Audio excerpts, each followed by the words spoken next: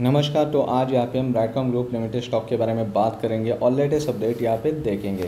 तो सबसे पहले यहाँ पे ब्राइटकॉम की बात की जाए तो देख सकते कि स्टॉक के यहाँ पे कोई खास अपडेट या नज़र नहीं आ रहे रिगार्डिंग बीसीजी स्टॉक तो स्टॉक की मोमेंटम देखी जाए तो आज थर्टी लेवल के ऊपर क्लोजिंग दे चुका है स्टॉक क्योंकि कल के दिन भी क्लोजिंग देखी जाए तो तकरीबन सेम लेवल के करीबन थी थर्टी के ऊपर ही थी। आज देख सकते कि स्टॉक ओपन होते थर्टी लेवल का सपोर्ट लेता हुआ नज़र आ चुका था।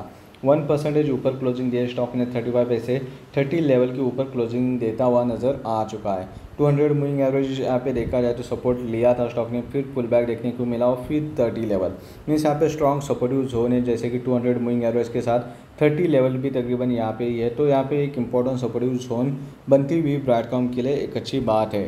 तो स्टॉक सस्टेन होता है थर्टी लेवल के ऊपर और वॉल्यूम भी पॉजिटिव जनरेट हो जाते हैं अच्छे खासे कंटिन्यूस जैसे कि ए पीरियड में देखने को मिले थे. यहाँ पे आप देख सकते कि ए पीरियड में जैसे वॉल्यूम्स नज़र देखने को मिले थे पॉजिटिव कंटिन्यूस देखने को मिलने चाहिए, जिसके कारण स्टॉक में और तेज़ी बन सकती है।